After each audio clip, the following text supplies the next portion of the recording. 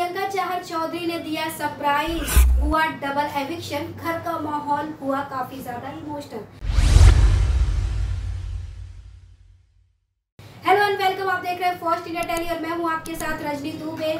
शुक्रवार को फिनाले होना है और उससे पहले बिग बॉस को मिल गए अपने पाँच फाइनलिस्ट जी हाँ घर में हुआ डबल एविक्शन आप सभी जानते हैं, लोकेश कटारिया को घर वालों के ऑटो के हिसाब से बाहर कर दिया गया और अरमान को ऑडियंस के ऑटो के हिसाब से बाहर कर दिया गया। यहाँ पर प्रियंका चाहर चौधरी की भी घर में एंट्री हुई थी तुषार कपूर के साथ, क्योंकि उनका वेब शो आने वाला है दस जून की रात, उसके प्रमोशन के लिए आई थी। और घर वालों के साथ उन्होंने काफ़ी ज़्यादा एंटरटेन किया घर वालों से टास्क भी कराया। लेकिन जब लोकेश कटारिया और अरमान बाहर गए तो घर का माहौल काफ़ी ज़्यादा इमोशनल हो गया।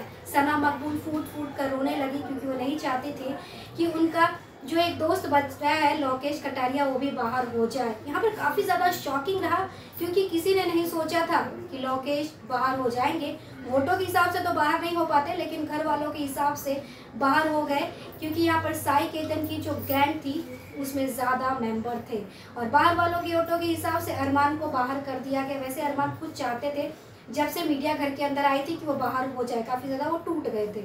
अब यहाँ पर देखा जा रहा है कि घर का माहौल काफ़ी ज़्यादा इमोशनल है। रणवीर शौरी भी रोने लगते हैं जब अरमान बाहर जाते हैं। वो कहते हैं कि मैंने सोचा था स्टेज पर हम दोनों होंगे। भले ही ट्रॉफी किसी एक के हाथ में जाती, हम दोनों से सेलिब्रेट करते। यहाँ पे सना मकबूल भी काफ़ी ज़्यादा इमोशनल हो गई। लेजी उन्हें सहारा देते हुए नज़र आए।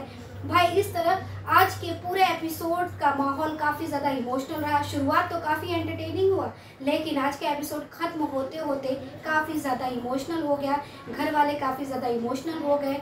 उनसे फ़ोन भी ले लिया गया और जो बाहर वाला था, उसका आखिरी हफ़्ता था, यानी कि अब बाहर वाले का टास्क ही खत्म हो गया। और इसी वजह से सना मकबूल भी बच गई क्योंकि वो बाहर वाली थी। वेल अब देखते हैं शुक्रवार को बिग बॉस की चमचमाती ट्रॉफी किसके हाथ में जाती है। वेल आपको क्या लगता है? हमारे कमेंट सेक्शन में जाकर कमेंट करके ज़रूर बताएँ। चैनल को लाइक शेयर सब्सक्राइब करना बिल्कुल ना